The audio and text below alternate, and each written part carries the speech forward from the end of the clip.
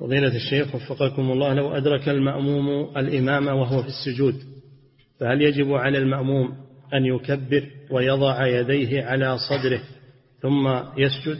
أم يكبر ويسجد مباشرة؟ نعم، يسجد مباشرة وضع اليدين على الصدر هذا إذا كان يبي يقف أما إذا كان يبي يسجد على طول فلا, فلا يضع يديه. نعم.